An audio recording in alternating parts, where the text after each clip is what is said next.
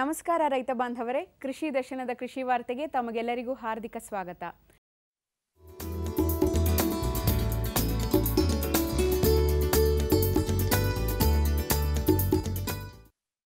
ಕಾಲುಬಾಯಿ ರೋಗ, ಗೊರಸು ಇರುವ ಪ್ರಾಣಿಗಳ ಒಂದು ಪ್ರಮುಖ ಸಾಂಕ್ರಾಮಿಕ ರೋಗವಾಗಿದ್ದು, ರೋಗ ಬಂದ ನಂತರ ಯಾವುದೇ ಚಿಕಿತ್ಸೆ ಲಭ್ಯವಿಲ್ಲದಿರುವುದರಿಂದ ರೋಗ ಬರದಂತೆ ಮುಂಜಾಗ್ರತಾ ಕ್ರಮ ವಹಿಸಬೇಕಾಗುತ್ತದೆ.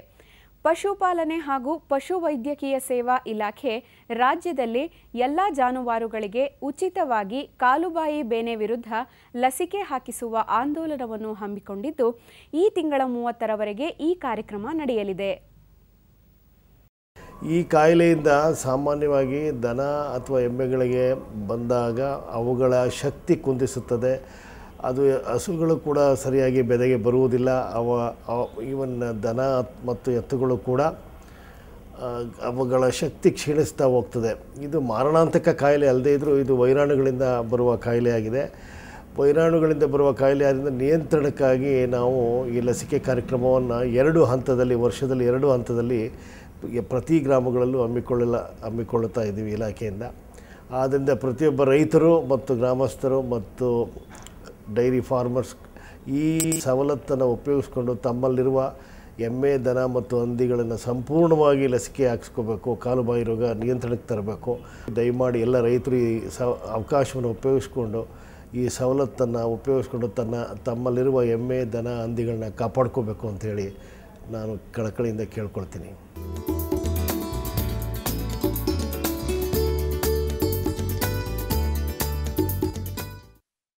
ಕೋಲಾರ ತಾಲೂಕು ನೆನೆಮನೆಹಳ್ಳಿಯ ಪ್ರಗತಿಪರ ಕೃಷಿಕರಾದ ಚಂದ್ರಶೇಖರ್ ಅವರು ಹದಿನೈದು ಎಕರೆ ಪ್ರದೇಶವನ್ನು ಹೊಂದಿದ್ದು, ಅದರಲ್ಲಿ ಮೂವತ್ತು ಗುಂಟೆ ಪ್ರದೇಶದಲ್ಲಿ ಸಮಗ್ರ ಕೃಷಿ ಕುರಿತಂತೆ ಒಂದು ಮಾದರಿ ತಾಕನ್ನು ಅಭಿವೃದ್ಧಿಪಡಿಸಿದ್ದಾರೆ. ತಮ್ಮದು ಮಳೆಯಾಶ್ರಿತ ಪ್ರದೇಶವಾಗಿದ್ದರೂ ಯಾವುದೇ ಕೊಳವೆ ಬಾವಿಯನ್ನು ಆಶ್ರಯಿಸದೆ ವೈಜ್ಞಾನಿಕ ರೀತಿಯಲ್ಲಿ ನೀರು ಹಾಗೂ ಮಣ್ಣಿನ ಸಂರಕ್ಷಣೆಯನ್ನು ಕೈಗೊಂಡಿದ್ದಾರೆ. ಮೂವತ್ತು ಗುಂಟೆ ಪ್ರದೇಶದಲ್ಲಿ ಪ್ರತಿ ವರ್ಷಕ್ಕೆ ನಾಲ್ಕರಿಂದ ಐದು ಲಕ್ಷ ರೂಪಾಯಿ ಗಳಿಸುತ್ತಿದ್ದೇನೆ ಎಂದು ಹೆಮ್ಮೆ ಪಡುವ ಚಂದ್ರಶೇಖರ್ ಅವರಿಗೆ ಹಲವು ಪ್ರಶಸ್ತಿ ಪುರಸ್ಕಾರಗಳು ಲಭಿಸಿವೆ.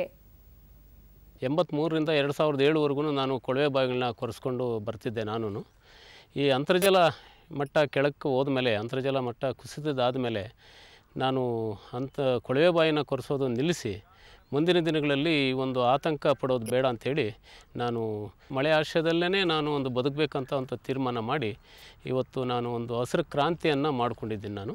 ಕಡಿಮೆ ಜಾಗದಲ್ಲಿ ಪ್ರಾರಂಭದಲ್ಲಿ ಮಾಡಿದೆ ನಾನು. ಒಂದು ಮೂವತ್ತು ಗುಂಟೆಯಲ್ಲಿ ಒಂದು ಐನೂರು ಪಪ್ಪಾಯ ಹಾಕಿ, ಮತ್ತು ಮಾವು ಹಾಕ್ಕೊಂಡು, ಮತ್ತು ಮುನ್ನೂರು ಮಾವು ಹಾಕಿ, ಮುನ್ನೂರು ನುಗ್ಗೆ ಹಾಕಿ, ಮತ್ತು ಕೃಷಿ ಹೊಂಡ ಒಂದು ಮಾಡಿಕೊಂಡು, ಟ್ರಂಚಿಂಗ್ ಮಾಡಿಕೊಂಡು, ಒಂದು ಸಾವಯವ ಪರಿಕರಗಳನ್ನು ನಾನು ತ್ಯಾಜ್ಯ ಪರಿಕರಗಳು ಮತ್ತು ಸಾವಯವ ಪರಿಕರಗಳನ್ನು ನಾನು ಉಪಯೋಗಿಸಿಕೊಂಡು ಯಾವುದೇ ರೀತಿ ನಾನು ನೀರಿನ ಸೌಲಭ್ಯ ಮತ್ತು ನೀರಿನ ಮೂಲಗಳು ಇಲ್ಲದೇ ಒಂದು ಪ್ರಕೃತಿ ಆಧಾರದ ಮೇಲೆ ನಿಂತು ಇವತ್ತು ಒಂದು ಮೂವತ್ತು ಗುಂಟೆಯಲ್ಲಿ ಒಂದು ನಾಲ್ಕರಿಂದ ಐದು ಲಕ್ಷ, ಒಂದು ನಾಲ್ಕರಿಂದ ಐದು ಲಕ್ಷ ಒಂದು ಆದಾಯ ತರೋ ರೀತಿ ನಾನು ಮಾಡ್ಕೊಂಡಿದ್ದೀನಿ ಸರ್.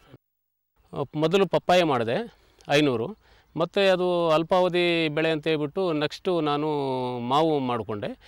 ಮಾವನ್ನ ಹನ್ನೆರಡು ಅಡಿ ಹನ್ನೆರಡು ಅಡಿ ಅಂತರದಲ್ಲಿ, ಹನ್ನೆರಡು ಅಡಿ ಹನ್ನೆರಡು ಅಡಿ ಅಂತರದಲ್ಲಿ ನಾನು ಒಂದು ಮುನ್ನೂರು ಗಿಡ ಮಾಡಿದ್ದೀನಿ. ಅದಾದ ನಂತರ ಮಾವು ನಾಲ್ಕೈದು ವರ್ಷ ಬೆಳೆಯೋದು ತಡವಾಗ್ತದೆ ಅಂತ ಹೇಳ್ಬಿಟ್ಟು ಮಧ್ಯ ಮಧ್ಯದಲ್ಲಿ ನಾನು ಒಂದು ಮುನ್ನೂರು ನುಗ್ಗೆ ಮಾಡಿಕೊಂಡೆ ನಾನು. ಅದು ಒಂದು ಹನ್ನೆರಡು ಅಡಿಗೆ ಅದನ್ನು ಮಾಡಿಕೊಂಡೆ ಮಧ್ಯ ಮಧ್ಯದಲ್ಲಿ. ಹೀಗಾಗಿ ಅದರ ಮಧ್ಯದಲ್ಲಿ ಒಂದು ರೇಷ್ಮೆಯನ್ನು ಮಾಡಿಕೊಂಡೆ ನಾನು. ಹೀಗಾಗಿ ನನಗೆ ಮೂರು, ನಾಲ್ಕು ಅಂತರ ಬೆಳೆಗಳನ್ನು ಮಾಡಿಕೊಂಡು, ಇನ್ನು ಮಳೆ ಮಳೆಗಾಲದಲ್ಲಿ ತೊಗರಿ ಇರ್ಬೋದು, ಅಲಸಂದೆ ಇರ್ಬೋದು, ಉರುಳಿ ಇರ್ಬೋದು, ಈ ರೀತಿ ನಾನು ಬಹುಬೆಳೆ ಪದ್ಧತಿಗಳನ್ನು ಮಾಡಿಕೊಂಡು ಒಂದೊಂದು ರೀತಿ ಹೇಳ್ಬೇಕಂದ್ರೆ, ಮಾ, ನುಗ್ಗೆಯಿಂದ ನನಗೆ ಮುನ್ನೂರು ಗಿಡದಿಂದನೂ ಒಂದು ಗಿಡಕ್ಕೆ ಐನೂರಿಂದ ಆರುನೂರು ರೂಪಾಯಿ ಸಿಗ್ತದೆ ಒಂದು ವರ್ಷಕ್ಕೆ. ಮುನ್ನೂರು ಗಿಡದಿಂದನೂ ಒಂದು ಲಕ್ಷ ಎಂಬತ್ತು ಸಾವಿರ ರೂಪಾಯಿ ನನಗೆ ಆದಾಯ ಸಿಕ್ಕಿದೆ. ಮತ್ತು ಮಾವು ಮಾವಿನಲ್ಲಿ ಒಂದು ಮುನ್ನೂರು ಗಿಡ ಇದೆ. ನನಗೆ ಐದು ಕೆ ಜಿ ಸಿಕ್ಕಿದ್ರೂ ಸಾವಿರದ ಐನೂರು ಕೆ ಜಿ ಆಗ್ತದೆ. ನನಗಿಲ್ಲಿ ಸಾವಯವ ಕೃಷಿ ಇರೋದ್ರಿಂದ ಬೇರೆ ಕಡೆಯಿಂದ ಬಂದು ನೂರಿಪ್ಪತ್ತು ರೂಪಾಯಿ ಕಿಲೋ ಹಂಗೆ ಅವರು ರೈತರು ಬೇರೆ ಇವರೆಲ್ಲನೂ ತಗೊಂಡು ಹೋಗ್ತಾ ಇದ್ದಾರೆ.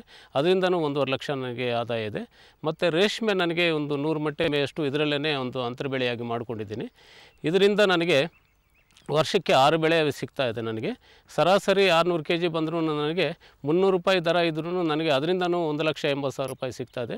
ನಾನು ಯಾವುದೇ ಒಂದು ನೀರಿನ ಮೂಲ ಇಲ್ಲದೆ ಈ ಇಷ್ಟೊಂದು ಲಾಭದಾಯಕವಾಗಿ ನಾನು ಬದುಕ್ತಾ ಇದ್ದೀನಿ. ನನಗೆ ಒಂದು ಆತಂಕ ಇಲ್ಲ.